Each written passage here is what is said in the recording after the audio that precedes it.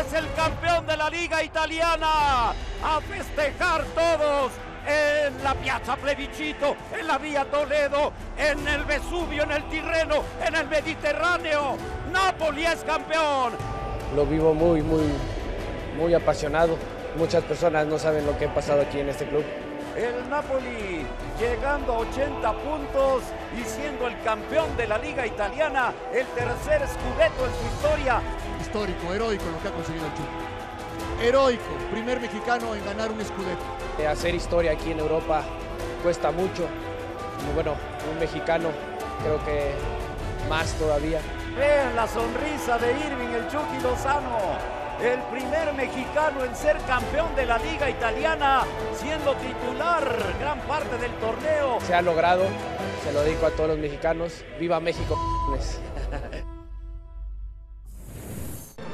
Fue el 29 de abril de 1990 cuando el Napoli se coronó por última vez y lo hizo imponiéndose a la Juve de Platini, de Boniek, al Milan, de Ancelotti, Rijkaard, Baresi, Maldini, Marco Van Basten, puras estrellas, al Inter de Senga, de Breme, de Klinsmann, de Lothar Mateus.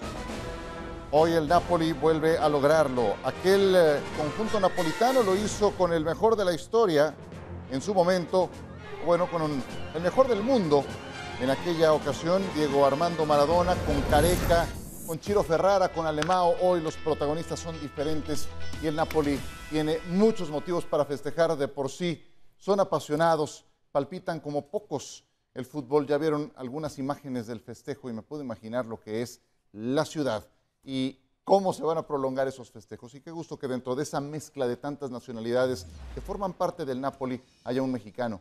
Una coronación muy anticipada, producto, Paco, te saludo con mucho gusto, de una estupenda primera vuelta que tuvo el conjunto napolitano. ¿Cómo andas? Así es, muy bien, muy bien, Ciro, Rafa, Pietra, un gusto estar aquí con ustedes.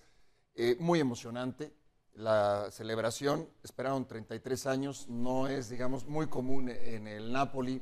Sí para la Juve, sí para el Inter, para el Milan, equipos que constantemente están ahí, inclusive para la Roma. No para el Napoli, con un equipo que no está, digamos, plagado de figuras, sí muy bien armado, muy bien estructurado por eh, Spalletti, el eh, técnico, y con un mexicano con un mexicano que hace historia, el primer mexicano, el Chucky Lozano, que gana un escudeto ante rivales de jerarquía, ya lo mencionamos, y creo que para el Chucky debe de ser eh, muy especial que en México ganó con Pachuca, que en eh, Países Bajos ganó con el PSV, y ahora en Italia le toca ganar con el Napoli. Un auténtico amuleto, como lo fuiste durante toda la temporada con Jorge Pietrasanta. Felicidades por toda la campaña y las transmisiones que hicieron del Napoli, Jorge. Eh, la emoción de transmitir algo como lo que hoy te tocó contra el Udinese y que se lograra el objetivo. ¿Cómo estás? Muy bien, muy bien, Ciro, mi querido Rafa, Paco. No, muy emocionante, muy emocionante. Em, la última ocasión que, el Napoli fue campeón, pues yo no estaba todavía en los medios, empecé unos meses después, ¿no? Y yo veía eh, aquel título, aquel campeonato con, con, una relación inclusive directa de mi familia y hoy tener la oportunidad de, de narrar ese título, la verdad es que emociona. Y más aún cuando, cuando lo hace con el Chucky Lozano, porque porque yo no entiendo de repente cómo son tan criticados este tipo de jugadores, porque el Chucky ha sido titular, o sea, la gran parte del tiempo el que juega por el costado derecho es Irving Lozano y después está Politano y hoy jugó él más, pero el Chucky ha jugado gran parte de la campaña. Eh, entonces a mí me da mucha, mucha emoción ver que alguien como mexicano triunfe en una liga como la italiana, lo difícil que es ganar en un equipo que no es el protagonista de la liga, como lo es el Napoli, que finalmente obtenga un,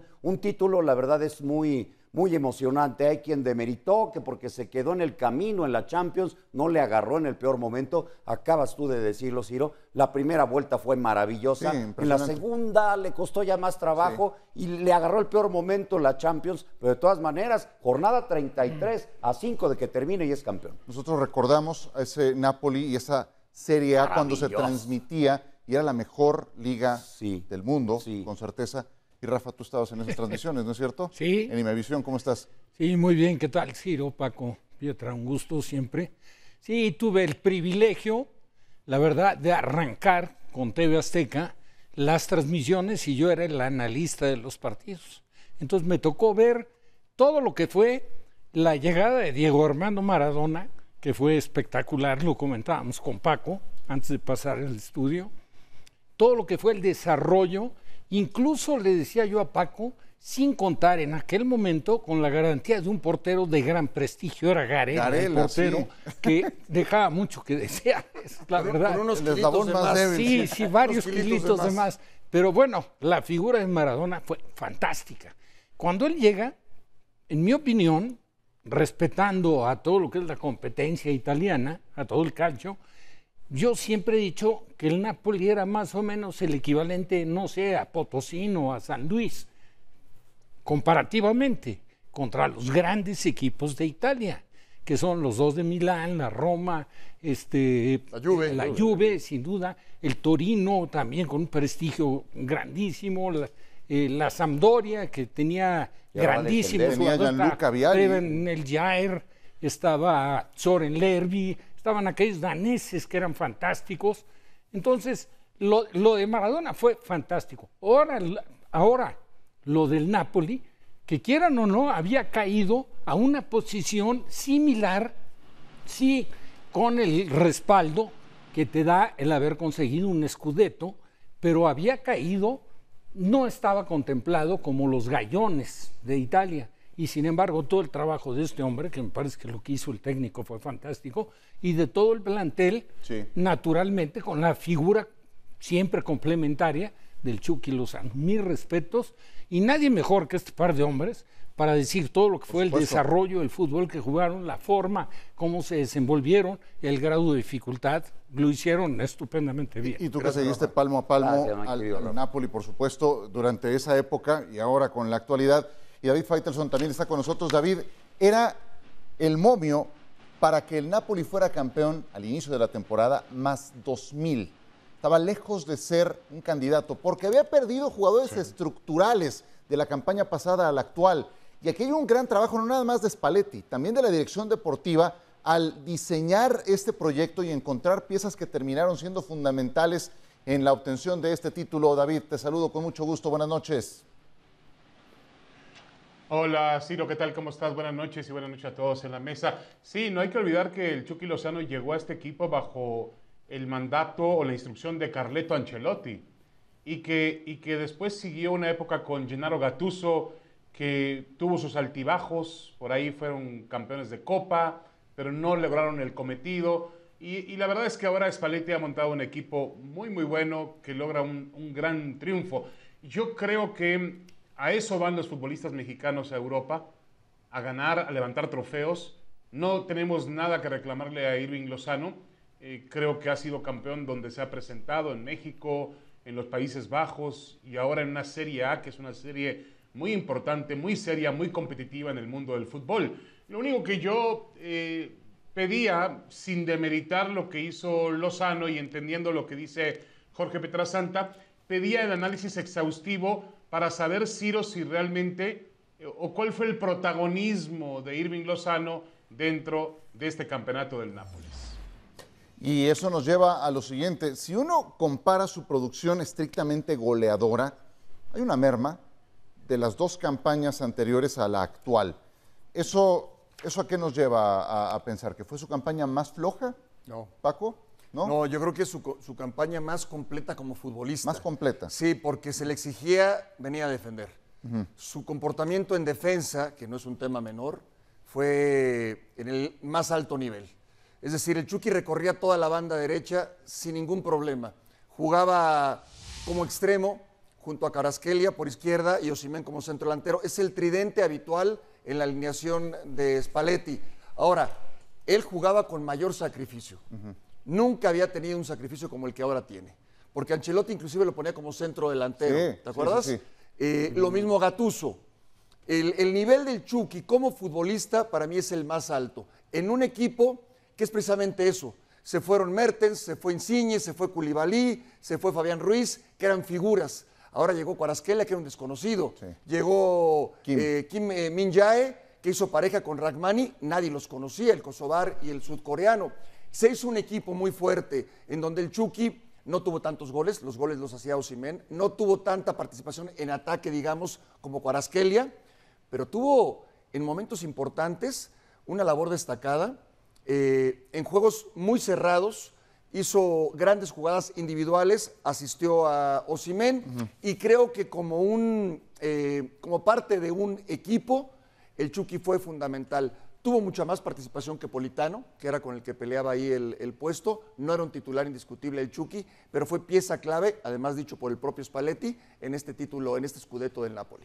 Sí, eh, ¿qué vendrá adelante para el Chucky? Pues no sabemos, ¿no? Decía, decía de Laurentis que intentarán renovarle el contrato. Es el segundo jugador más caro de la historia de- del Napoli, así de claro, ¿no? 70 millones costó Simen, que puede ser el campeón de goleo, lleva 22 goles por eh, 18 de Lautaro, entonces va encabezado, en- encaminado a eso. Eh, Vicha les costó 10 millones, 10 millones. Este georgiano que además es de dos dígitos en goles y en asistencias, es el líder de asistencias fiera, de la sí. liga, ¿no? Entonces, bueno, dentro de todo, el segundo jugador más caro tratarán de mantenerlo. Yo creo que debería de seguir en la liga. O sea, sería, sería muy importante que continuara ahí. Y el aporte sí ha sido muy, muy importante de, de, de Chucky y de Spalletti, que finalmente Sí. es campeón de liga, ¿no? No, Es que no na- lo había logrado. Nada más ac- acotando rápidamente, Ciro, eh, lo que venga para el Chucky es bueno. Si se queda en Napoli, es el campeón, es ídolo indiscutible Va y es Champions. y va a jugar Champions. Sí. Si sale, a donde vaya, sale como campeón. Y llegará como campeón y como figura. Yo creo que titular indiscutible no eres en ningún lado. Lo que venga para el Chucky creo que va a ser muy bueno. Sí, yo, yo también creo que lo mejor que le puede pasar es mantenerse en Napoli. Sí, Además, sin el duda. Está adaptado. No, Está no, adaptado y aparte- le costó trabajo, ¿eh? Él sorteó el momento más crítico cuando públicamente lo exhibió Gatuso. Casi, casi Gatuso Ah, lo sí, ahí la tuvo a la puerta de que saliera. Sí. Y se mantuvo, corrigió un poco, cumplió la exigencia del técnico, saliéndote de lo que es tu, tu esencia como futbolista. Porque él estaba acostumbrado a jugar de tres cuartos de cancha Hacia para adelante, adelante. Y métete al trabajo de sacrificio, de meter a todo lo que es la disciplina táctica. Y la verdad es que lo cumplió con todas las de la ley. La prueba más clara es que se mantiene. Lo de la titularidad también en la exigencia que hay en el fútbol de Italia. Imposible. Perdóname, pero son, son no son muchos ¿eh? los jugadores que juegan los 90 minutos. Generalmente el trabajo de los técnicos va diseñado para hacer los cambios y los ajustes que corresponden en cada uno de los partidos. David, futuro para el Chucky. Bueno, yo también creo que tiene, que, tiene, que tiene obviamente el futuro en Nápoles, va a ir a jugar la Champions, está con el equipo campeón del fútbol italiano, eh, jugar la Champions debe ser la aspiración de cualquier futbolista del mundo, para eso, para eso juegas al fútbol, bueno, por lo menos eso pienso yo, para jugar la Liga de Campeones de Europa. Y el Chucky tendrá una nueva oportunidad después de lo que fue un intento del Nápoles que la realidad no fructificó. A mí lo que, hay una estadística, Ciro, que me sigue... Eh, y entiendo bien lo que dice Pietra en el sentido de que fue un jugador regular, pero en los números que tengo yo aquí marcan que apenas jugó el, bueno, apenas, jugó, jugó correcto, ha participado en 30 de 32 partidos, eso es constancia, pero ha jugado solamente el 54% de los minutos totales. Es decir, yo, con todo respeto, creo que no es un titular indiscutible en esta formación de Spalletti. Hay por delante de él, por lo menos, eh, una, dos, tres, quizás hasta cuatro figuras más trascendentales para este Nápoles. Eso no le quita nada al futbolista mexicano, ¿eh? No trato de demeritar lo que ha hecho eh, eh, Lozano. Lo que quiero decir es encontrar realmente cuál es su protagonismo dentro de este campeón italiano. Sí, pero eh, digo, la lectura sería, David, que de ese 54% es el que regularmente iniciaba, ¿no? Y sí es uno de los jugadores que suele cambiar Spalletti para poner a Politano o para poner a Elmas. No es Osimen, no es Garasquelia, pero está a la altura de, de la gran mayoría de los demás. Otro ejemplo que pongo, perdón, Rafa, más o menos del estilo es Zielinski, el polaco. Zielinski, que es figura en su selección y que más o menos tiene la participación de titular y de movimientos hacia el segundo tiempo que hace Spalletti, sobre todo con ellos dos. ¿Dirías que se- eh, está en un segundo peldaño de aportación? Después, después, Después de de, y, de, y de Bicha, yo creo, yo creo que sí. Pero hay un punto que, que no podemos dejar de lado y sí cabe la pena analizarlo para establecer el juicio del Chucky. Regularmente, los equipos ganadores, los movimientos los hacen con resultado a favor, tratando de conservar la ventaja que ya tomaron Sí. y no apostando por ir a rescatar un resultado. Entonces ahí obedece mucho que los cambios de repente del técnico en un aspecto táctico son para fortalecer la mitad de la cancha, a lo mejor dejando un poco en función de un contragolpe ya tus posibilidades de ataque. Sí, y yo, y yo creo, lo pondría más cerca de Bicha. Yo creo que sí, Osimhen sí está de, Sí, está, sí. está fuera de, de, de- de- 22 goles. de dimensión. Lógico. Y Claro, en cuanto a los, claro. los movimientos, tu línea de cuatro, los dos centrales, Kim Min y Ragmani, no se mueven. Di Lorenzo, el capitán, no se mueve. No, tienes por qué moverlos. El lateral izquierdo sí lo movía Mario Ruiz, puso a Olivera. Tu contención, Lobotka. Y el otro que lo acompaña, Sambo Anguisa, inamovibles. Y adelante, el eh, nigeriano, el goleador. El caso de Osimen. No, y el Los primeros cambios, Rafa, Ciro, David, eh, Pietra, eran Zielinski y, y el Chucky. Y entraban Elmas y Politano. Normalmente eran al minuto 60-65, eran los cambios de Spalletti. Pues este título está cimentado en gran medida por la estupenda primera vuelta que hizo este equipo y pronto mandó un mensaje. Le fue a ganar al Lazio a Roma, a la Roma al Olímpico, al Milan a San Siro, al Atalanta en Bérgamo, todo en la primera vuelta. Y después de esa renta vivió para lograr cinco jornadas anticipadas el título en la Serie A.